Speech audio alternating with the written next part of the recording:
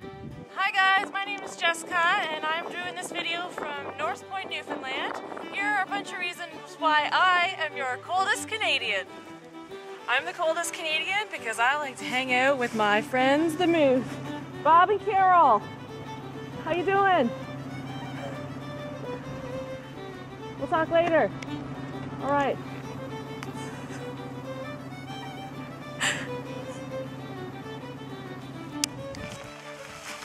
I'm the coldest Canadian because this is my kind of fishing.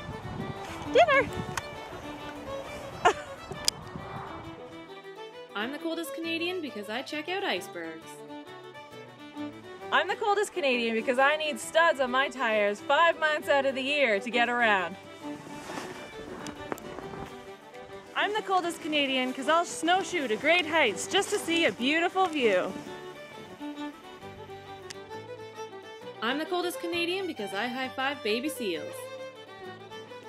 I'm the coldest Canadian because my me time is being outside with a Tim Hortons coffee. I'm the coldest Canadian because in the wintertime I hang out with some woodland caribou.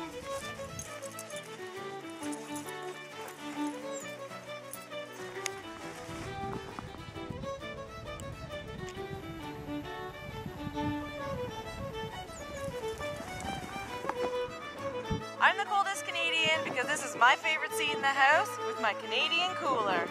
Cheers!